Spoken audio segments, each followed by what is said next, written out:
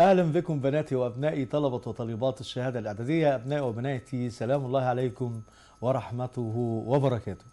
آه اللقاء اللي فات إحنا كنا ابتدينا في الإحصاء وكان معانا الأستاذ أشرف طلعت وطبعا أثرنا ب آه يعني موضوع آه جميل وفتح موضوع حلو قوي قال على الإحصاء وانه علم بيدرس ظاهرة معينة عن طريق جمع البيانات وعرضها بصورة سهلة وبسيطة بحيث يسهل الاستفادة منها.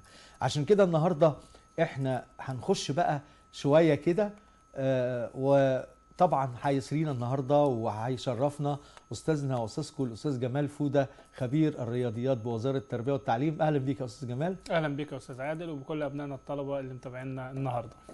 أستاذ جمال النهارده هنستغل وجود حضرتك معانا وأنا عارف إنك يعني راجل بتاع تكنولوجيا وبتحب جدا التكنولوجيا ويمكن آه، ال- الإحصاء معتمد تماما على التكنولوجيا وعلى القدرة على البحث والاطلاع وجمع بيانات. وإحنا قلنا آه، ال- البيانات بتاعتنا لما جبناها المرة اللي فاتت عملنا لها آه، آه، بيانات وعملنا لها جدول وعملنا لها رسم بياني. ويمكن آه، جينا في سنة تانية ودرسنا آه، آه، مقاييس النزعة المركزية. آه، طبعا من المقاييس النازله المركزية اللي إحنا درسناها خدنا الوسط الحسابي وخدنا الوسيط وخدنا المنوال. آه، قلنا الوسط الحسابي كان مجموع القيم على عددها. آه، المنوال هو الأكثر شيوعا أو الأكثر تكرارا بين القيم. تمام. عشان كده آه، آه، النهارده إحنا هنستخدم احد مقاييس النزعة المركزية وهنستخدم المتوسط. لكن آه، طبعا لما بخش أشوف بيانات في احد المصانع يا أستاذ جمال وعايز أجيب تقريبا أشوف المرتبات في احد المصانع كراجل بجمع بيانات بس لقيت انه في واحد بياخد آه، آه، 50 جنيه وواحد بياخد 5000 جنيه. فالمدى بعيد بين الاثنين بين دول الاتنين فرق والاقي. في واحد آه، 4000 واحد 2000 واحد هنا في آه، مجموعة بيانات قدامي ففيها تشتت وفيها آه، عدم تجانس أو فيها تجانس. عشان كده إحنا النهارده هناخد موضوع آه، آه، موضوع التشتت. عشان كده بناتي وأبنائي النهارده العنوان بتاعنا وهيفيدنا النهارده إن شاء الله الأستاذ جمال في التشتت. تعالوا نشوف كده ونستثمر وجود أستاذ جمال معانا. التشتت أستاذ جمال التشتت في آه، مقاي... له مقاييس. إحنا جبنا آه، مجموعة من البيانات فالمجموعة البيانات دي أنا لقيت مجموعة من البيانات فيها اختلاف أو فيها تجانس. عشان كده إحنا عايزين نشوف يعني إيه التشتت لمجموعة قيم. هو التباعد أو الاختلاف بين مفردات هذه القيم أو الاختلاف بين مفرداتها. آه. والتشتت هو مقياس بيعبر عن مدى تماجانس هذه المجموعات. آه تمام. يعني عشان كده بناتي وأبنائي آه، آه، التشتت يعني أنا هخش أشوف دلوقتي مجموعة بيانات فلاقي مجموعة ألاقي فيه بيان آه، مختلف 50 والتاني 5000 فهنا هيبقى البيانات مشتتة يعني بعيدة عن بعضها. فعشان كده أنا عايز أقيس هذا التشتت أو هذا الاختلاف. طبعا قدامي نوعين من مقاييس التشتت يا أستاذ جمال آه طبعا النوع الأولاني اللي هو مدى آه، آه، يبقى اذا المدى هنا هو بنقدر هما النوعين إيه هم آه الأول حاجة المدى والانحراف المعياري. تمام.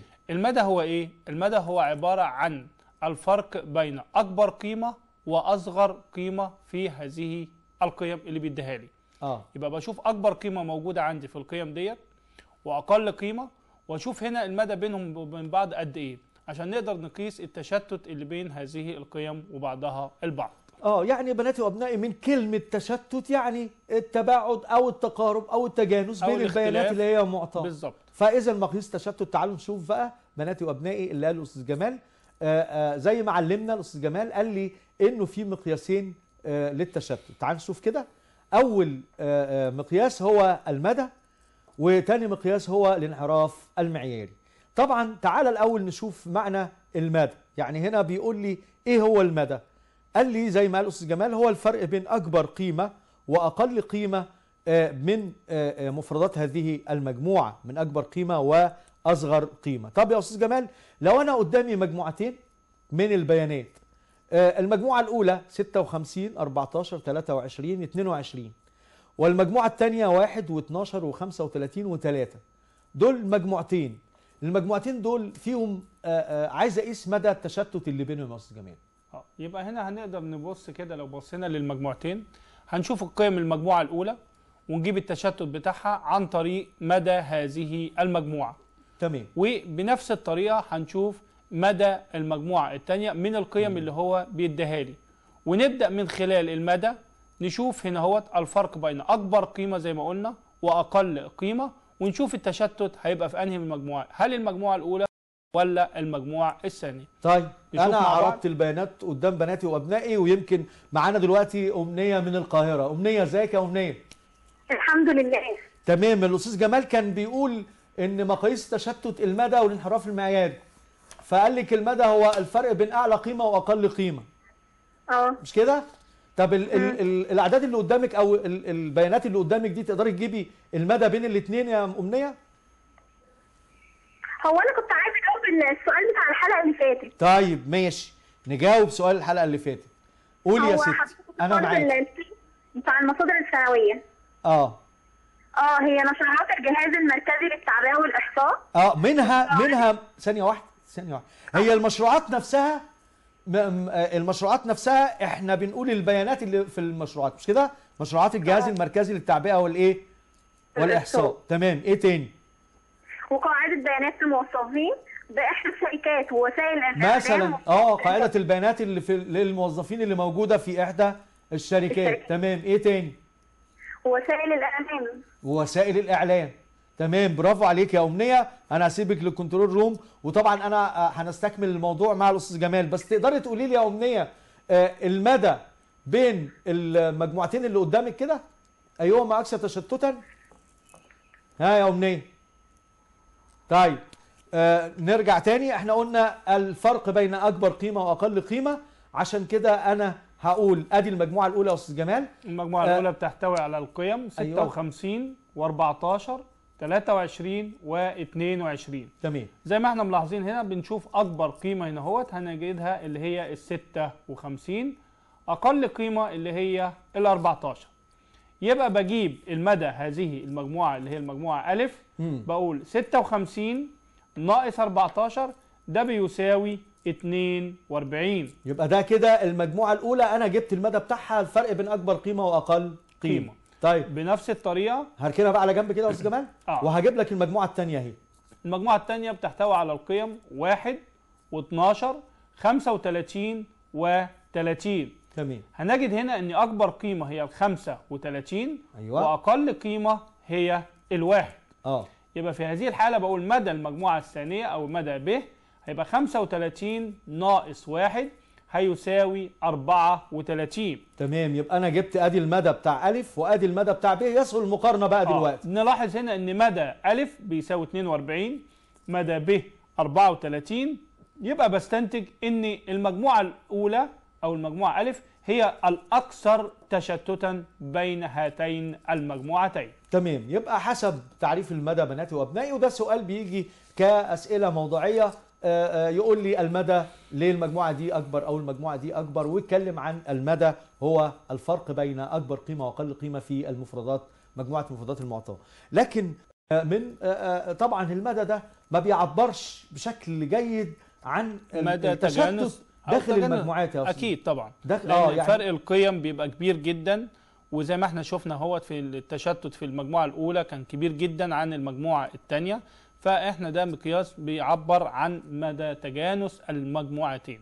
طيب عشان كده آه، آه، ما بي... ما بقدرش إن أنا أستخدمه. آه, آه إن أنا أستخدمه كتير أو إنه يمكن ندور على مقياس يكون أكثر مصداقية شوية. بناتي وأبنائي هنفترض إن أنا في مصنع آه، المصنع ده له بواب وفي رئيس مجلس إدارة. فأنا بلاقي البواب مثلا بياخد 500 جنيه ولكن رئيس مجلس إدارة ممكن بيكون ياخد 15000 جنيه. فأنا باجي على البيانات اللي هي بقول عليها بيانات متطرفة بقى. البيانات الصغيرة قوي بشيلها عشان أتغلب على مشكلة ال- ال- المدى أو عيوب المدى. فباجي بعمل في الشركة بقى دي عشان أجيب المدى بتاعها أشيل البيانات المتطرفة. اللي هو أجرة البواب وأجرة رئيس مجلس إدارة لأن دول بيبقوا كبار جدا وبعدين ابتدي اعمل المدى أو اقيس التشتت أو آه، التجانس داخل آه، المجموعات خلال الم- الموظفين على اللي هي المجموعات. المتقاربة يعني اللي هي تمام. المجموعات المتقاربة تمام طيب يا أستاذ جمال إحنا كنا اتكلمنا مع بناتي وأبنائي وقلنا مقاييس النزعه المركزية منها الوسط الحسابي آه. لما كنا بنجيب وسط حسابي فمثلا آه، لو كان في أب بيدي لأبنائه الأربعة مثلا واحد بيديله 3 جنيه وواحد بيديله 7 جنيه واحد بيديله 8 جنيه واحد بيديله مثلا 2 جنيه آه، هنا لو ما أنا كتبت البيانات دي طلعت المتوسط فالمتوسط طبعا حضرتك آه، آه، ممكن نطلع المتوسط الحسابي بنعمل إيه بنرتب القيم وبعد كده بن- بنجمع القيم ونقسمها على عددها. عددها. طب هنوجد المتوسط مثلا من البيانات المفروضة اللي موجودة المتوسط هنا مم. هيبقى مجموع هذه القيم 3 زائد 7 زائد 8 زائد 2 على عددهم عددهم كام؟ 20 4 آه مجموعهم 20 على 4 يبقى اذا 20 على 4 هيساوي 5 طيب هنا أنا بقول بقى للولاد بقى جبتهم قلت لهم ما حدش يزعل بقى أنتوا تقريبا كل واحد بياخد 5 جنيه. فاللي بياخد 2 جنيه بص لي كده. قال لي 2 جنيه يا مستر. إذا كان أنا 5 جنيه أنا باخد 2 جنيه. وزميلي واخويا بياخد 8 جنيه. فيبقى هنا في ال- الوسط الحسابي ما طلعش صادق قوي. فاحنا عايزين ندور على الانحرافات بين هذه المتوسطات اللي موجودة. عشان كده إحنا هنقول إيه؟ هنجيب الوسط الحسابي لمجموعة القيم دي. وبعد ما نجيب الوسط الحسابي نشوف هي منحرفة ال- القيم اللي عندي دي. بعيدة إزاي عن الوسط الحسابي اللي أنا جبته. يعني الولد اللي بياخد 2 جنيه من 5 جنيه يطلع لي إن هو أقل منهم ب 3 جنيه من المتوسط اللي المفروض اللي أنت بتقول عليه ده ب 3 جنيه. عشان كده إحنا هناخد مقياس جديد للتشتت وهو الانحراف الانحراف المعياري. بس قبل ما نخش في الانحراف المعياري ناخد بنتنا أسماء من الشرقية. أسماء. السلام عليكم. أخبارك إيه يا أسماء؟ الحمد لله. وصلت الإحصاء ولا لسه؟ آه خلصناها. تمام تمام. أنتوا كده ماشيين تمام عشان تراجعي. اوصيكي بقى بالتدريبات بتاعت الكتاب ان شاء الله. اللي هم الجزء الثاني من الكتاب الخمس بتاعنا. نما... الخمس نماذج. آه الخمس نماذج والتدريبات والحاجات اللي موجودة. ده مهم جدا بنتي. أسماء عندك سؤال ولا عايزة تشاركينا؟ آه عاوزة أشارك وعاوزة سؤال. طب قولي السؤال الأول وبعدين أسيبك تشاركي معانا. أستاذ جمال معاك. آه قام المعلم. قام المعلم. هذا سؤال أكمل. أكمل. آه. طيب قام المعلم؟ آه، بتصحيح أوراق. يا أستاذ جمال معاك هي. بإيه؟ المعلم إيه؟ آه بتصحيح بتصحيح أوراق. أوراق. آه بتصحيح أوراق. أيوه. تلاميذ. أيوه أس- آه، أوراق تلاميذ. أيوه. أحد فصوله. أيوه. في نصف ساعة طيب في نص ساعه آه. آه. امم فإذا أخذ المعلم. فإذا إيه؟ أخذ أخذ. المعلم. أخذ المعلم. ساعة ونص. ساعة ونص. في تصحيح. في تصحيح؟ آه 120 فيها تصحيح أوراق 120 تلميذ. آه أوراق 120 120 تلميذ. طيب آه، يبقى فإن عدد التلاميذ. يبقى عدد التلاميذ كام؟ مش كده ولا إيه؟ صح؟ هو خد بقى نص ساعة منهم. آه. آه هنا بقى في علاقة جميلة قوي عندك الساعة ونص بص بقى إحنا إحنا بنبص كده للبيانات اللي موجودة. الساعة ونص صحح فيهم قد إيه؟ آه، صح فيهم 120 120 صح؟ طب والنص؟ آه 120 على الساعة ونص. مش كده ولا إيه؟ يبقى آه. س واحد على س اتنين يساوي س صاد واحد على صاد اتنين. اتنين. معايا كده؟ آه. معايا؟ يبقى آه. 120 على ساعة ونص. يبقى آه آه طبعا هرفع الكسر فيطلع لي كل واحد أرب... يطلع لي النص بكام؟ ب 40 40. يبقى هو آه عدد التلاميذ بتوع 40 طالب. معايا 40 كده؟ تلميذ. جاوبنا لك على السؤال. تشاركينا؟ آه. طيب يلا شاركيني. إحنا قلنا. السؤال كده بيقول لك المدى لمجموعة القيم المعطاة قدامك. تعرفي تقولي لي المدى كام؟ هنا المدى؟ آه البيانات قدامك أهو. المجموعة آه، القيم 12 آه، 17 23 مم. آه، تبقى 23 ناقص 5 23 أيوه طرح خمسة. ها؟ آه هديني 18 كام؟ 18 يبقى الإجابة بتاعتي 18 شكرا يا أسماء. انت زي الفل. نرجع بقى تاني يا أستاذ جمال. بعد بنتنا اسماء آه سؤالها حلو ويعني استخدمنا العقل فيه واستخدمنا ده العلاقة. سؤال ده سؤال في في النماذج. يعني آه، هي جايبة آه. الرساله واضح إن هي اشتغلت في النماذج. ده كلام ده في حلو. النماذج ال- اللي هو ال- النموذج اتنين. تمام تمام. شفت ال- ال- النموذج النماذج الكتب أو كتاب المدرسة المدرسة. والتدريبات مهم جدا. أكيد طبعا لأن ده والسنوات الأخيرة كان الامتحانات كلها ما بتخرجش عن هذه النماذج. وأنا يمكن بهمس في اذن ابنائي وبناتي الكتاب فيه كل الافكار اللي انت ممكن تطرحها. صحيح أنا ممكن في الامتحان اقدم واشغل دماغك واعمل لك فكرة كده يعني بس هي إيه من خلال المنهج بتاعي. عشان كده بيسألني آآ آآ يعني بعض ال وأنا بشتري حاجات كده من السوق يقولوا لي يا أستاذ هو انت مش عارف الامتحان؟ ما تقولوا للعيال. قلت لهم ده أنا بقول لهم كل يوم الامتحان. ليه؟ أنا بقول لهم كل يوم الهدف من الدرس ده والهدف ده هو موضوع القياس بتاع الامتحان. وبالتالي انت لو عرفت هدف الدرس عرفت سؤال الامتحان اللي هيجي على الدرس ده. تمام يا أستاذ جمال؟ مظبوط يا أستاذ. طب أنا النهارده دلوقتي هاخد بقى الدرس بتاعي اللي هو الانحراف المعياري. المعياري. الانحراف المعياري. تعالي بناتي وأبنائي نخش كده بالانحراف المعياري ونقول يعني إيه انحراف معياري.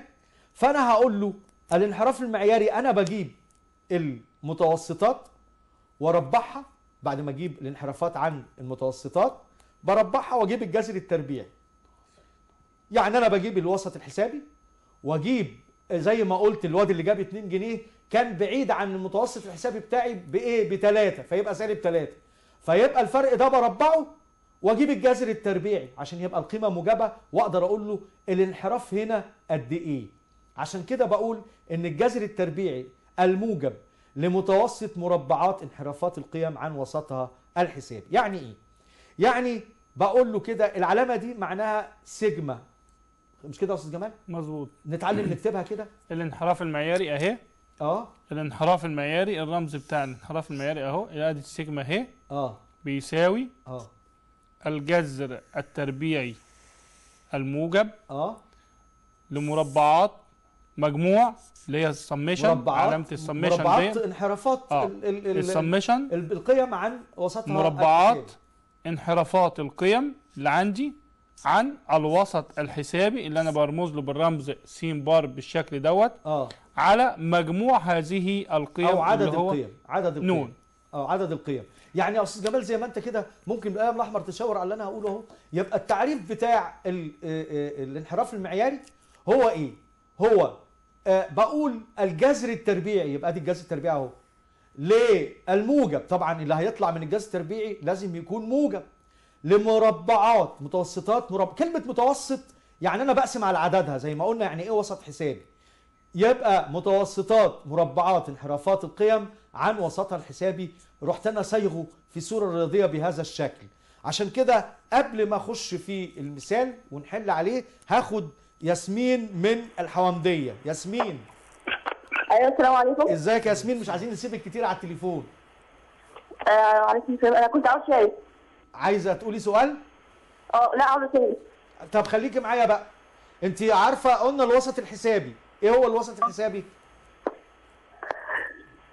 الوسط الحسابي اللي هو مجموع القيم على عددهم طيب الف... المثال اللي أنا قلته دلوقتي الوسط الحسابي طلع خمسة. ويا عيني في ولد بياخد 2 جنيه. يبقى الفرق بينهم كام؟ سالب 3 صح؟ آه طب والواد اللي بياخد 8 جنيه يبقى الفرق بينهم برضه موجب إيه؟ 3 ثلاثة يبقى في 3 فوق و3 تحت أنا باخد القيم دي واربعها وأجيب الجذر التربيعي هو ده انحرافات القيم عن آه، آه، وسطها الحسابي طب تعالي نشوف كده لو أنا معايا آه، بتعرفي تكتبي طبعا كلمة سيجما بقى وعرفتي ترسمي الحاجات دي مش كده ولا إيه؟ أنا هديكي مجموعة قيم شايفة مجموعه القيم دي؟ اهي يا أستاذ جميل. آه. بيقول لي اوجد الانحراف المعياري للمفردات الآتية. نعمل إيه يا أسماء؟ الحاجات المعيارية هنقول آه، مجموع س امم هنقول مجموع س ناقصين ستة هنعمل إيه الأول؟ أول حاجة هنجيب اسمها مجموع أكبر عدد لا. آه أول, بعد يعني أنا أنا هجيب آه المجموع وبعدين أعمل إيه؟ عشان أجيب الايه الأول؟ أول خطوة نعملها لما هو المفردات دي. بالظبط. برافو عليك. نجيب قالت. الوسط الحسابي أيوه كده. تمام. يبقى أنا الأول بدايتي. بجيب الوسط الحسابي يا أستاذ جمال؟ يبقى الخطوة الأولى بجيب س بار الوسط الحسابي اللي هي الو- وسط الحساب اللي هي مجموع هذه القيم على عددها. تمام. طيب. على عددهم عدد عدد القيم. طيب مجموع القيم اهي يا اسماء أنا هسميها س بار. القيم القيم كام؟ أهي القيم اهي يا أستاذ جمال أنا هكتبها أهي وأنزلها. يعني مجموع القيم على عدد هذه القيم صح يا أسماء؟ أسماء معايا. آه طيب. معايا كده. طب يلا اجمعي بقى هنحط بقى مجموع القيم 9 و16 أنا رتبتهم عشان يبقى الجمع سهل. معايا كده يا أسماء يا ياسمين معايا؟ آه صح. أيوه معاك عشان يبقى الجمع سهل أنا عملتهم كده. فدول مجموعهم آه. 25 ودول 15 يبقى 40 و10 يبقى كام؟ على خمسة. آه برافو على خمسة اللي هو العدد. يبقى 50 على 5 فيها كام؟ خمسة. سهل عشرة فيها العشرة. طب أنا جبت الوسط الإيه؟ الحسابي. بعد ما أجيب الوسط الحسابي بجيب كل قيمة واجيب انحرافها عن الوسط الحسابي ده. صح ولا لأ؟ صح. طيب يبقى أنا هجيب القيمة. أنا عندي هنا القيم أهي. وتعالي احسبي معايا بقى. أنا إيه. جبت الوسط الحسابي طلع بكام؟ بتسعة و- وثمانية وستاشر وسبعة. لا طيب دي الوسط الحسابي بقى؟ طلع بعشرة. كمان. نعمل إيه يا أستاذ جمال؟ دلوقتي بقى إيه بعد ما جبنا الوسط الحسابي بنعمل الجدول زي ما إحنا شايفين. الجدول بيتكون من ثلاث خانات. الخانة الأولى بكتب القيم اللي عندي كلها اللي هي قيم السين صح يا تسعة. أسماء؟ يا آه، أسماء. ياسمين تسعة. بكتب القيم الأول. وبعدين ماشي. أجيب يا أستاذ جمال الفرق بعد كده أجيب آه، انحرافات هذه القيم عن الوسط الحسابي. بعمل. إيه؟ بقول هذه القيمة ناقص الوسط الالحسابي طب احسبي بقى يا أسماء مع الأستاذ جمال. يبقى أول قيمة تسعة هقول أنا تسعة عايزك تقول ناقص دي يا أستاذ جمال بعد آه. إذنك. قولي كده يا أسماء الحتة دي يا ياسمين. ها؟ أول قيمه أيوه ما أقول لك. مم. آه، إحنا هنجيب دلوقتي يا ياسمين أول قيمة. أيوة. س ناقص س بار. يلا نعمل إيه؟ أول قيمة في س اللي هي كام؟ تسعة. هتبقى من تسعة؟ أيوه. ناقص س بار اللي هي إيه؟ الوسط الحسابي. الوسط الحسابي إحنا آه جايبينه تسعة بكام؟ ناقص عشرة. أيوه. طب ثانية يا أستاذ جمال بقى. تديني كام يا اسماء تسعة ناقص اتنين واحد. سالب واحد. سالب أيوة. واحد. برافو عليك. شكرا يا ياسمين. ندي فرصة لأولادنا غيرك وشكرا وبقي تابعينا أستاذ جمال تمام. هي أسماء قالت أنا بجيب انحرافها عن مين؟ عن الوسط الحسابي. فبجيب القيمة ناقص, ناقص الوسط الحسابي. عشان يطلع لي قيم. أمال أنا بربحها ليه بعد الانحرافات عشان أبدأ أشوف. قيمة هتطلع قيم سالبة وقيم موجبه آه يعني يعني أنا ببص ألاقي في قيم طلعت سالبه وقيم طلعت إيه؟ آه موجبه عشان. كده بربحها. بربحها بعد كده. واقسمها على عددها وبعدين أجيب الجذر أجيب. الانحراف المعياري. بالظبط. طيب يا أستاذ جمال أنا هعرضه قدام حضرتك أهو ومع أبنائي وبناتي آه، آه، تواصلوا معايا كده يلا عشان نحل مع بعض وأنا مستنيك واهو أستاذ جمال 9 ناقص 10 فيديني سالب واحد. سالب واحد. طيب. امم و8 ناقص 10 هيدينا سالب 2 تمام. 16 ناقص 10 هيدينا 6 تمام. 7 ناقص 10 هيدينا سالب. 3 و10 ناقص 10 هيدينا صفر. عشان كده الجزء الأولاني ده أنا بجيبه وأنا حذر جدا يا أستاذ جميل عشان أجهز الإشارات بتاعتي. فبقول له ما دام قلت س ناقص س بار أو س شرطة يبقى أنا عارف إنه الوصف السابع كتب اللي هو الثاني المطروح. طيب بعد ما بجيب ده اكمل بتطلع قيم سالبة وقيم موجبه بعمل إيه يا أستاذ جمال؟ بنربع هذه القيم. تمام. ببدأ أربع سالب واحد تربيع هيبقى موجب واحد. تمام. سالب 2 تربيع هتبقى مربعها هيبقى أربعة. بنبه هنا حاجة مهمة جدا لأبنائنا الطلبة.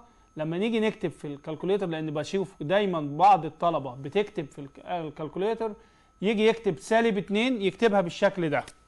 يقوم كاتبها كده سالب 2 ويحط لي تربيع كده. طبعا آه. آه, ده خطأ رياضي رهيب جدا. امال اكتبها إزاي يا باز؟ بالدقهلية. أحطها بين قوسين. آه شاطر. حطها بين قوسين. ما تقول لي اسمك بقى بجد يا باز. إبراهيم مش كده؟ آه. آه قول اسمك عشان أنا- أوصل. أنا اسمه إبراهيم. ها؟ اسمه إبراهيم الباز. إبراهيم الباز. بس هو بيقولوا لي فين؟ بيقول لك الباز أنت من الدقهلية آه. مش كده؟ آه. تمام تمام. طيب انت خلصت الانحراف المعياري؟ آه الحمد لله خلصت المنهج. تمام. إحنا انت عندك سؤال الأول؟ آه. أنا عارف انك بتجيب أسئلة جميلة يا إبراهيم عشان انت الحلقة اللي قبل فاتت اديتني سؤال جميل. أستاذ جمال آه، خد السؤال من إبراهيم الباز من الدقهلية. يلا مع أستاذ جمال يا باز. يا باز يا إذا كان اتفضل. إذا كانت إذا كانت؟ إذا كان قياس زاوية ألف. قياس زاوية ألف. بتساوي 85 درجة. 35 75 خمس درجة. و80 85 امم آه. آه. وجا ب جا ب بتساوي جتا ب بيساوي جتا ب عارف يعني إيه جا ب بيساوي جتا ب يعني المجاور بيساوي ال- المقابل. يعني الزاوية تبقى بكام؟ يعني المثلث يبقى نوعه إيه؟ يعني المثلث مستوى الساقين جدع انت حليت اهو. يلا. طب ما انت حليت اهو. يعني انت عارف الحل. قول أنا يلا عارف الحل بس عاوز أشوف الطريقة. طب يلا وانت هتحله. ما انت حليت اهو. يلا. جا ب في زاوية يساوي في- جتا ب وبعدين؟ في مثلث ا ب ج أيوه. فان قياس زاوية ج تساوي. آه قياس زاوية جيم آه. تساوي كام يا بيه؟ 50 أيوه. عرفتها إزاي؟ ها؟ لأن زاوية آه، قياس اللي هو أصلا الجا ب قد الجاتا ب مش كده ولا إيه؟ آه. يعني الجا قد الجاتا. يعني المقابل آه. قد المجاور في مثلث متساوي الساقين طيب تشاركني بقى في في الانحراف المعياري؟ آه. يلا. إحنا جبنا دلوقتي مربعات القيم أهو. ربعت القيم معايا يا إبراهيم؟ آه. طيب أربع معايا كده. عند شايف كده قدامك؟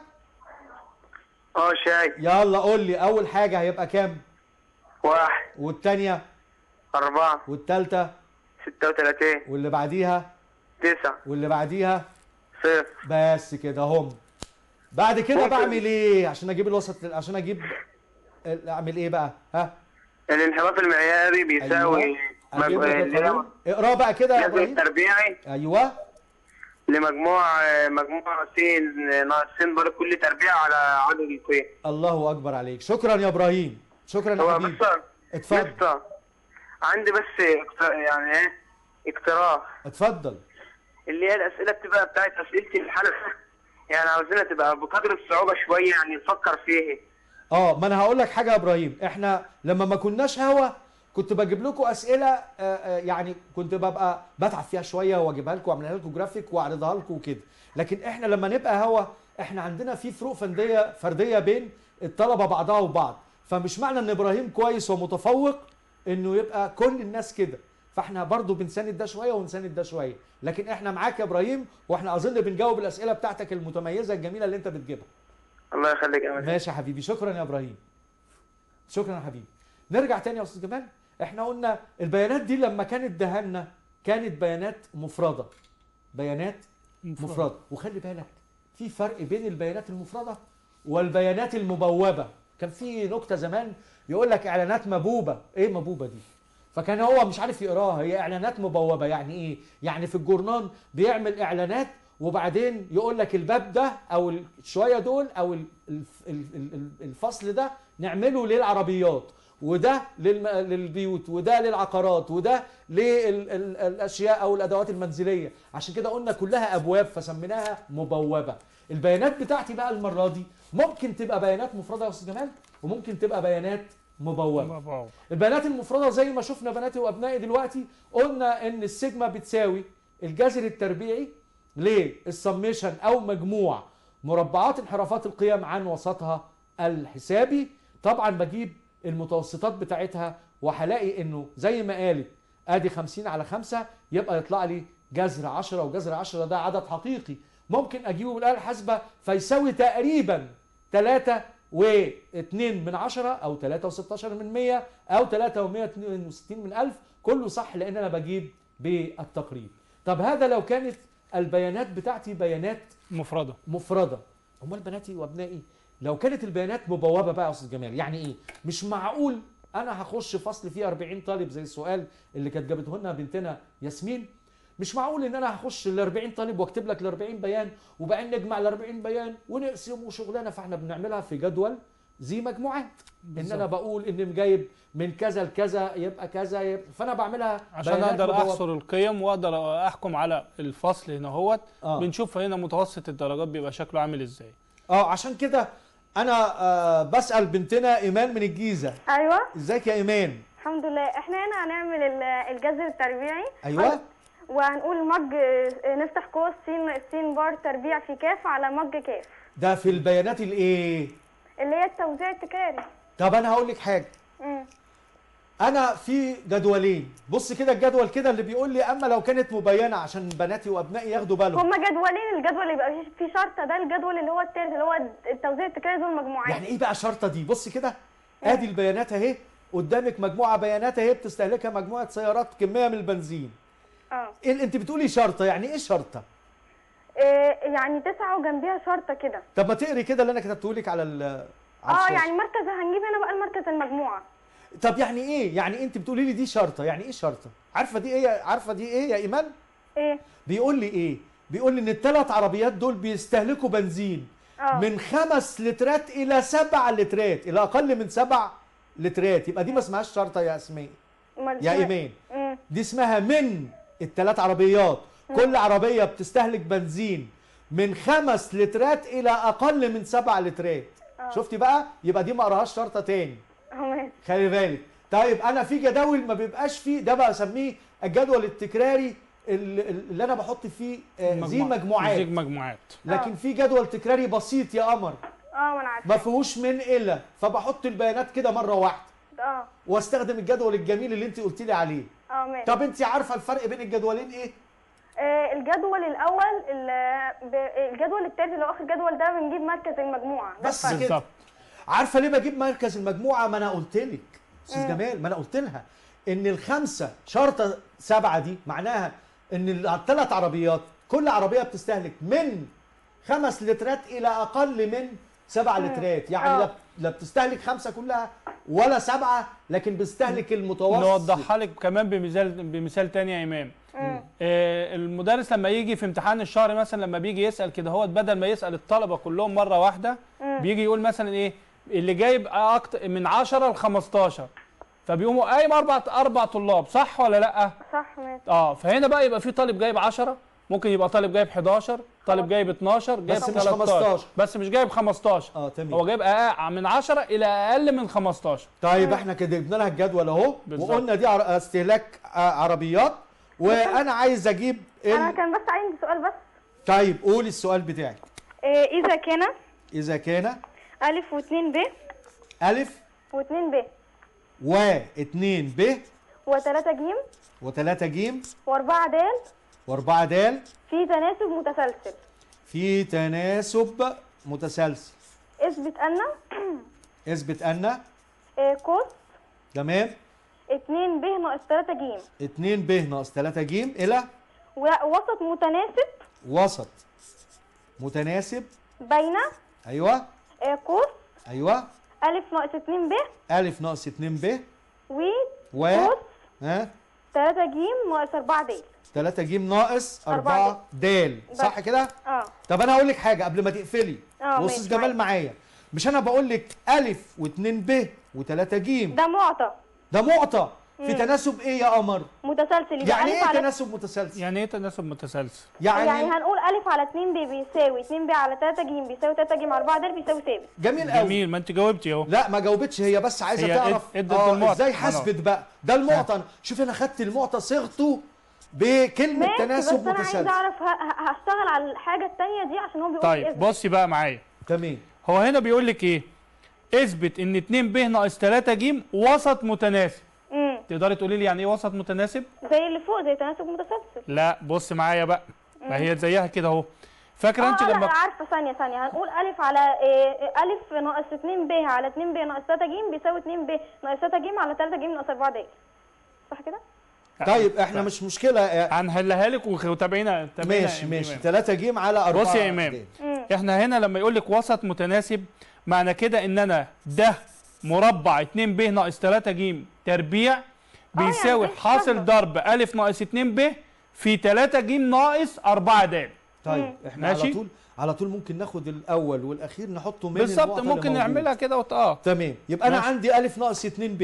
آه. يبقى أنا هعمل إيه؟ هاخد مقدم الأول؟ ماشي. آه، هاخد مقدم مش أنا عندي مقدم الأول مع مقدم الثاني آه. ونعملهم ونطرحهم. آه هيس- هيسحب معايا التوالي 2 ب ناقص 3 ج يبقى ألف ناقص 2 ب على 2 ب ناقص 3 ج يساوي. ها؟ ها. تعالي بقى خدي المطلوب التاني. 3 ج ناقص 4 د امم يبقى أنا خدت إيه؟ مقدم وتاني. مش كده ولا إيه؟ آه. يبقى 3 ج ناقص 4 د 3 ج ناقص 4 إيه؟ د د تمام. تعالي بقى خدي يلا آه، آه، ناخد احدى النسب بقى يا أستاذ جمال. آه. اللي هو برضو 2 ب ناقص ناقص 3 ج 3 اللي هو عايزه. آه. تمام؟ تعالي بقى اضربي طرفين في وسطين هتلاقي آه. أيوه هتلاقي إن 2 ب ناقص 3 ج الكل بيساوي- تربيع. بيساوي حاصل ضرب بيساوي حاصل ضرب ألف ناقص 2 ب. آه. بي- في إيه؟ 3 ج ناقص 4 د. الله أكبر عليك في 3 ج ناقص 4 د. تمام؟ اديكي خدتي كده طريقتين للحل. طب تعالي معايا بقى. ماشي يا أنا هسيبك مش أنا جاوبت لك السؤال. آه ماشي. طيب بعد ما جبت أنا ال- ال- المجموعات بتاعتي من خمسة إلى أقل الجدول بتاعي المختلف هنا بقى عشان أجيب الانحراف المعياري. اصبح اللي انت قلتيه بقى هنا بضرب في كاف ليه بقى؟ لأن عندي مش عربية واحدة ده أنا عندي كام عربية؟ 3 ثلاثة تلاتة. والتانيين؟ ستة. 4 ستة هم 6 ماشي. جدول ظهر ولا لسه؟ لا ظهر آه. تمام واللي بعديه 10 واللي بعديه لذلك في تكرارات. يبقى أنا عشان كده في في الجدول في كده بجيب القانون. مركز المجموعه آه بجيب إيه؟ ما أنا جبت مركز مجموعه لكن أنا بتكلم على التكرارات بقى. يبقى أنا دلوقتي هعمل الجدول بتاعي فبقول له بقى هجيب بقى الجذر التربيعي لمجموع مربعات انحرافات القيم. طبعا في التكرار أهو. بقول عليه متوسط يعني. بقول عليه إيه؟ متوسط. متوسط المر... الانحرافات. فأنا هقوم أعمل جدول كده يا قمر الأول. ماشي. بكتب الفئة وبجيب مركز الفئة. ادي الفئه وده التكرار اهو شايفينها؟ آه. يبقى دول أنا بكتبهم مفيش أي تغيير.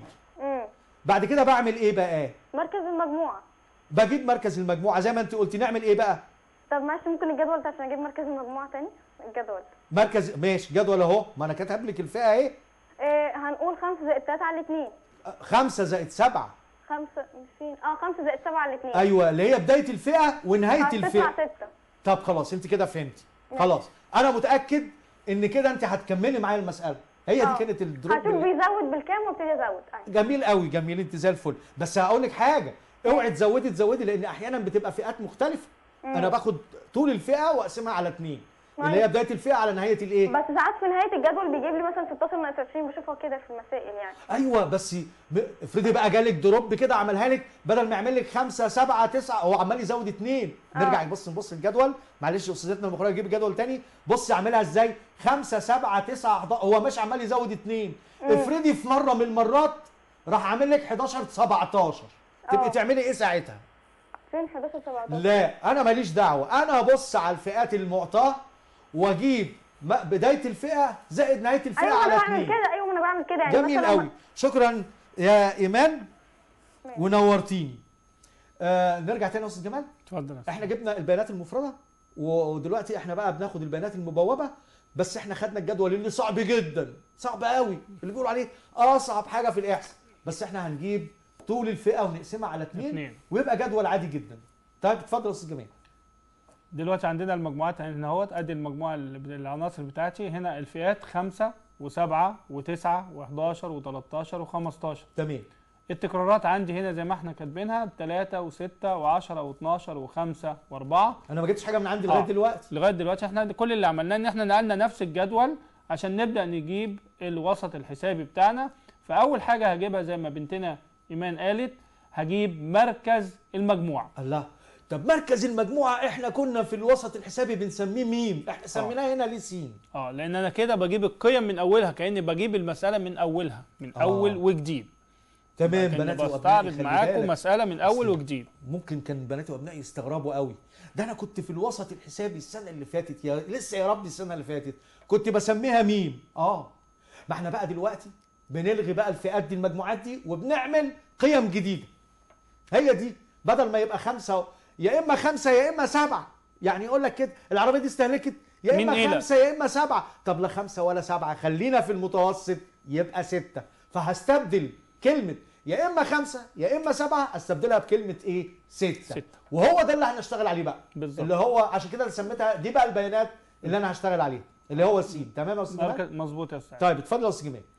نبدأ نجيب مركز المجموعة. المجموعة الأولى هيبقى هجمع 5 زائد 7 12 على 2 هيساوي 6 آه.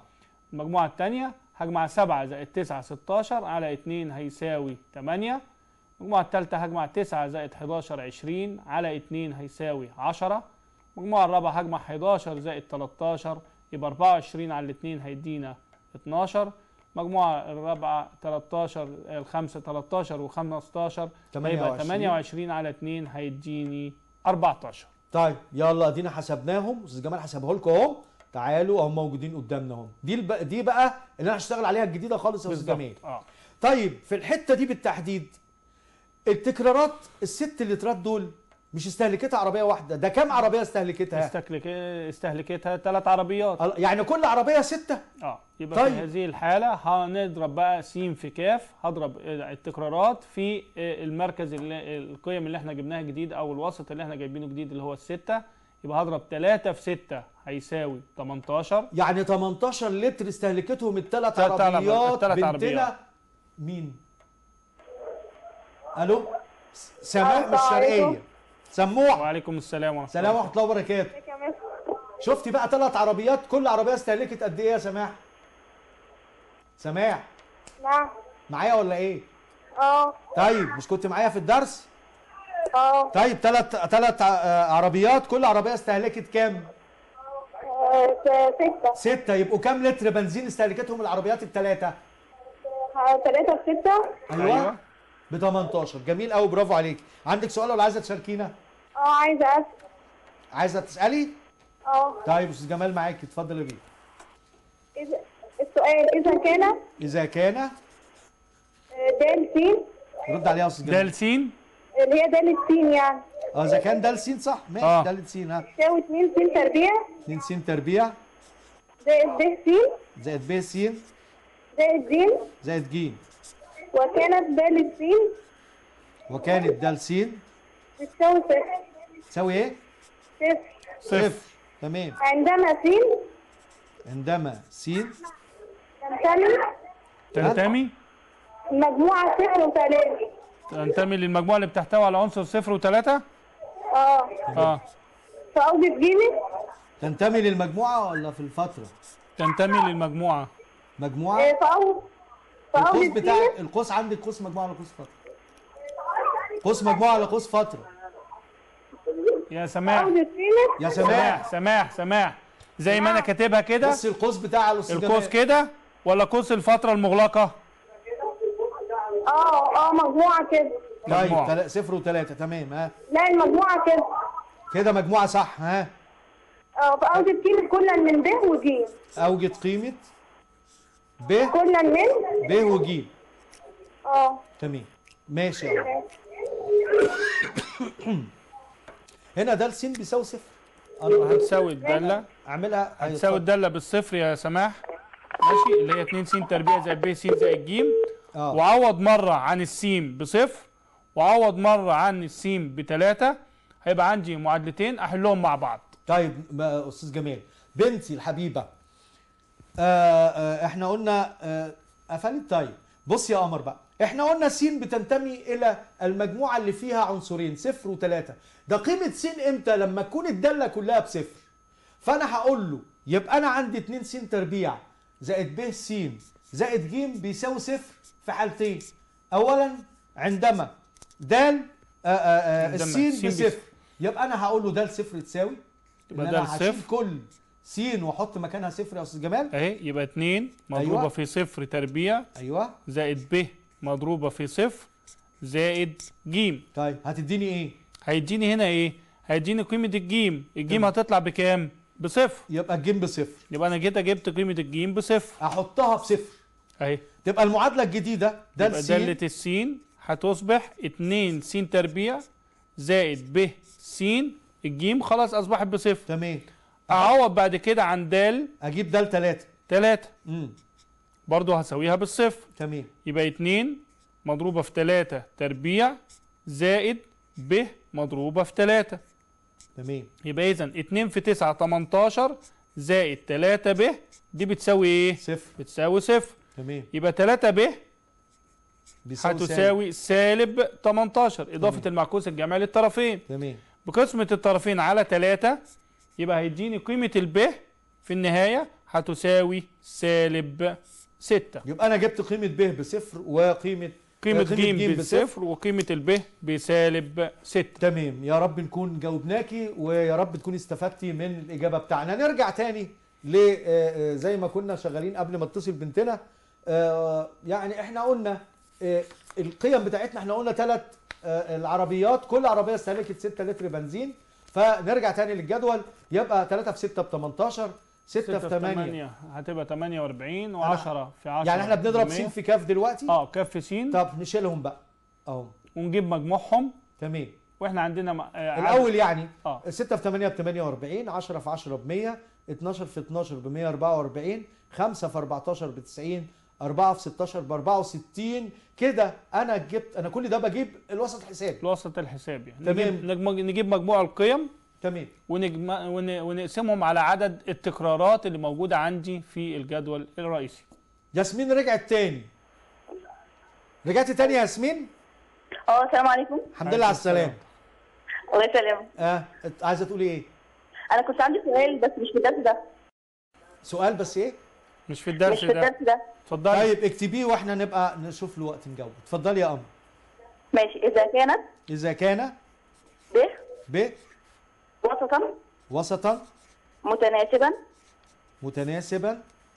بين ألف وب بين ألف وجيم. تمام. أثبت أن مم. ألف تربيع مم. زائد ب تربيع زائد ب تربيع على ب تربيع على ب تربيع زائد ج تربيع زائد ج تربيع بيساوي. بيساوي ألف على ج ألف على؟ ألف إيه. على ج على ج قبل ما. نجاوب. قبل ما نجاوب ما تقفليش بقى. حاضر. عشان تحلي أي مسألة مش ضرورة دي. أنت عندك آه. معطى أنت عندك إيه؟ معطى إيه المعطى آه. اللي هو مديها لك؟ قال لك ب وسطا متناسبا. عارفة ده معناه إيه؟ معناه إن ب تربيع بيساوي ألف في ج جذر تربيع الألف في ج صح ولا لأ؟ أو إنه ألف على ب بيساوي ب على ج بيساوي مقدار؟ ثابت. صح ولا لأ؟ صح. يبقى ألف على مين؟ بتساوي ب على ج بيساوي ب بتساوي على ج بيساوي مقدار إيه؟ ميم. مقدار ثابت اللي هو مين؟ تبقى الب بكام بقى؟ الب بتساوي ج ميم. ج ج برافو عليك صح. والالف؟ والالف بقى. بتساوي ب ميم لا. ما هو ب ميم آه. ماشي؟ طب مش انت عندك قيمة الب بج ميم؟ يعني آه. إحنا هنقول انت عايزة تقولي ب في ميم صح؟ طب آه. ش- الب مش عندك قيمتها بج ميم؟ أيوه. ده عوض عن قيمة الب بج ميم مضروبة في إيه؟ في ميم. مضروبة بميم أيوه. أيوة. يبقى أصبحت ج ميم إيه؟ ميم ميم تربيع. ج ميم تربيع. يبقى هي دي قيمة بقى إيه؟ ثانية بقى يا قمر. ياسمين هو إحنا ليه بنعمل كده؟ هو إحنا ليه. بنعمل كده؟ عشان نحول اللي انت جايباه عشان نثبته. بدل ما في مجهول اسمه ألف ومجهول اسمه ب ومجهول اسمه ج لا ده أنا بحوله في مجهول واحد اللي هو مين ج معايا يا ياسمين؟ معاك حضرتك. يبقى أنا ليه بعمل كده؟ ليه بقول له إن الب بتساوي ج في مين؟ جبتها بدلالة ج. أهو. عشان نحل. والألف جبتها بدلالة ج برضه فبقت ج م تربيع. ليه بعمل ده؟ بعمل ده عشان أحول اللي أنت جايباه أثبته للطرفين بخليه في مجهول واحد فيسهل الحل. تمام يا أستاذ. جمال؟ أهو بحلها لها طب اهو اتفضل يا أستاذ جمال. بص معايا كده. أدي الطرف الأيمن اللي أنت قايله لي عشان أثبته اللي هو ألف تربيع زائد ب تربيع على ب تربيع زائد ج تربيع. مظبوط؟ نبدأ نعوض. ألف تربيع. أنا عندي الألف بكام؟ ج م تربيع. ماشي؟ آه. لما ربعه هيصبح ج تربيع. م اس كام؟ أربعة. اس 4 مش أنا هربع ج م تربيع؟ أيوه هتبقى جيم جيم تربيع جيم أربعة. ماشي. زائد. ب تربيع. هربع الب. ميم ميم اس ثلاثة يبقى ج ميم أس تربيع م تربيع. آه. ماشي؟ على. ب تربيع اللي هي إيه؟ برضه هربع. يبقى ج تربيع م تربيع. تربيع. زائد ج جيم تربيع. ماشي كده. تمام كده. آه بص طيب. كده اتحولت كلها لجيم وميم إزاي؟ بص كده. تعالي نبص بقى.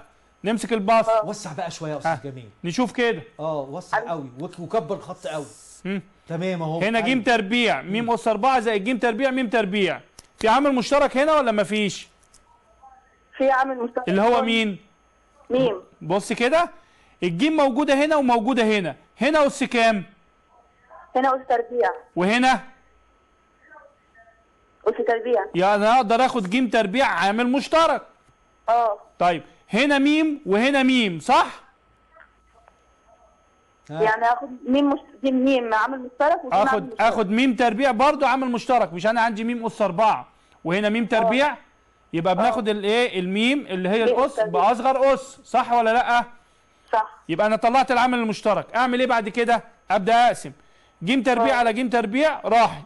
فيها الواحد. ميم أس 4 على ميم تربيع يدينا فيها. ميم إيه؟ ميم أس اثنين تربيع. ماشي. زائد. ميم تربيع. جيم تربيع ميم تربيع. على ج تربيع هتقول م تربيع. يدينا كام؟ ميم تربيع زائد واحد. يدينا واحد. طب تعالي تحت في المقام. عندي ج تربيع وعندي ج تربيع. يعني أقدر آخد ج تربيع عامل؟ مشترك. نبدأ نقسم. م تربيع. ج تربيع م تربيع على ج تربيع. هيتفضل لي مين؟ واحد.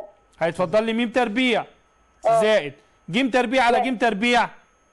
هتبقى واحد. تربيع زائد واحد. يبقى فيها الواحد. ماشي؟ أنا مهتم بحكاية الواحد طيب. دي قوي. تعالي بقى ن- نختزل. الجيم تربيع راحت مع الجيم تربيع. وبص كده. ميم تربيع زائد واحد. وهنا ميم تربيع زائد واحد. هتبقى م تربيع اتنين. هيتفضل لي ميم تربيع. ودي رقم كام؟ أس اتنين. آه ميم تربيع اللي هي ميم أو- ميم ده الطرف الأيمن. ده الطرف الأيمن اللي إحنا حليناه. استنى آه. بس الطرف الأيمن يا ياسمين طلع الأيمن. بميم طيب. تربيع اوعي تنسي تعالي بقى نشوف هنا الطرف دقيقه الأيسر. واحدة يا أستاذ جميل آه. بص يا بنتي إحنا جبنا الطرف الأيمن برضو وطلع بميم تربيع. لو الطرف الأيسر كمان طلع بميم تربيع بعد التعويضات دي يبقى الطرفان متساويين وتبقى الإثبات صح. تمام يا أستاذ جمال؟ مظبوط. هنجيب بقى الطرف الأيسر يا ياسمين مع الأستاذ جميل الطرف الأيسر عندك ألف على جيم. نعوض عن قيمة ألف ألف بكام؟ هنقول بجيم ميم تربيع أيوه تمام جيم ميم تربيع على على جيم. الجيم تعالي نختزل. الجيم تروح مع الجيم يبقى يتفضل لي آه. ميم إيه تربيع ميم ودي. رقم كام اتنين. بص كده رقم واحد ادي رقم ميم واحد تربيع. طلعت ميم تربيع ورقم اتنين طلعت ميم. تربيع يبقى الطرف الأيمن هيساوي الطرف الطرف الأيسر. الطرف شكرا ليك يا حبيبتي وهنرجع تاني بعد الفاصل. بس اوعى تنسي لازم نكتب الطرفين متساويين. ابنائي وبناتي فاصل قصير ونرجع تاني. ورجعنا بعد الفاصل. أهلا بيكم بناتي وأبنائي. مرة تانية إحنا كنا وصلنا مع بناتي وأبنائي. آه آخر حاجة كانت بتقول آه آه لازم أقول الطرفين متساويين. متساويين. دي عليها نص درجة لوحدها. آه إذا. الطرفان متساويين. لكن تعالوا نستكمل تاني الجدول بتاعنا اللي إحنا كنا أنشأناه.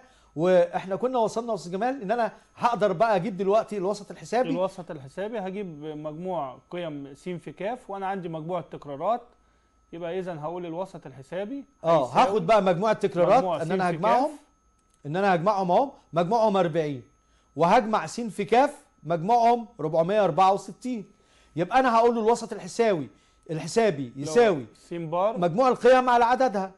فهيطلع لي آه، 11 و6 من 10 جبت القيم بتاعتي.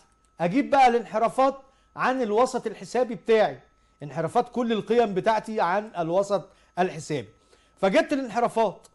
يعني أنا قلت العدد 11 و6 من 10 لما شلت منهم 6 طلع لي 5 بالسالب أهو 5 و6 من 10 جبت الانحرافات.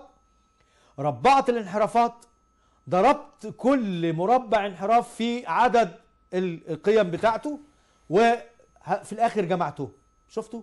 هو نفس الجدول بس أنا كنت إيه استبدلت السين بتاعتي بدل ما كانت مركز المجموعة سميتها السين وبعدين شلت منها السين بار ربعت ضربت في آه، التكرار بتاعي فطلع لي 325 و68 طبعا بناتي وأبنائي عارفين ده بسهولة جدا هستخدم فيه الآلة الحاسبة.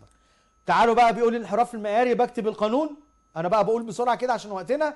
وبعدين أنا عندي الخانة دي جاهزة.